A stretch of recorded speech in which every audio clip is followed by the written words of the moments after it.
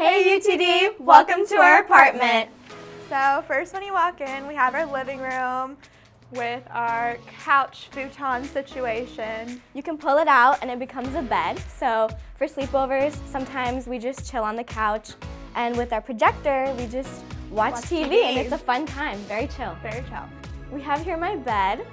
This is where I spend majority of my time, let's be honest. When I'm not in like JSOM, I'm here. This is where I spend most of my time. Over here, I have just a little board of a couple things that like I hold dear to my heart. So obviously, I have my bestie, my roommate on this wall, and then I have just a couple like knickknacks from over college and then over high school. Above my bed, I have like a collage wall that I even I had last year in my dorm. And on this wall behind me, this is more of like memory type wall.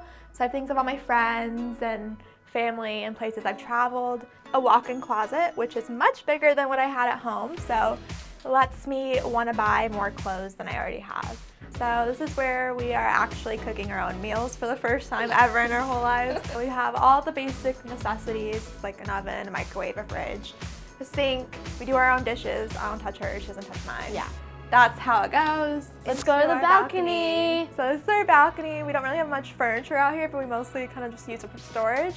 But mostly our balcony is great because of the view we get.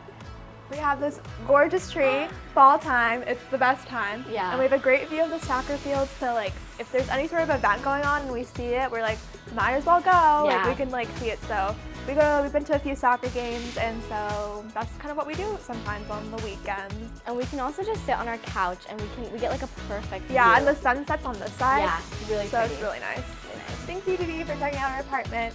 See you later. Bye.